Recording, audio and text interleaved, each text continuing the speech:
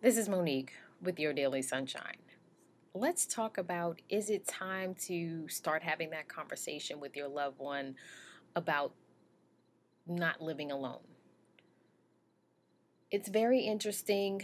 Um, it's not always a good conversation because, you know, just like we talked about a video ago about independence, this is just part of the aging process and part of them giving up their independence as they see it and as you see it. Um, and then also coming to the realization that my loved one is getting older and they need a lot more care and support. And just trying to see what it'll look like for you and your family.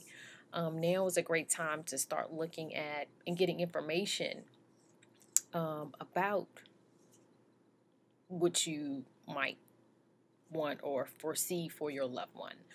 Um, for our situation, it kind of happened gradually.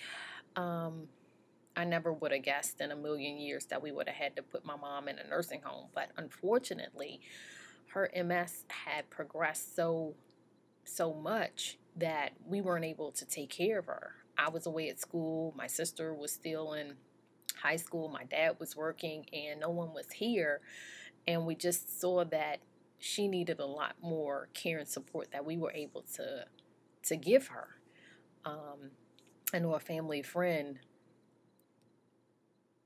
her doctor spoke to her, um, and her daughters. I mean, she knew the conversation was going on, but um, her doctor, you know, mentions it. You know, it's it's time for you to start looking at not living alone and she she had gotten to the place where she was comfortable with it. She had called me and we had talked, and I just let her, you know, kind of figure it out. And her daughters also gave her that support, and it it ultimately came that she moved in with a daughter. She looked at maybe going to a facility, um, nursing home, but she was like, I'll live with one of my daughters, and she was comfortable. So hopefully you are looking at um, bringing the doctors on board if you can find a social worker. Um, there are numerous programs, and I see commercials out to help you put together something. Um, but kind of think ahead.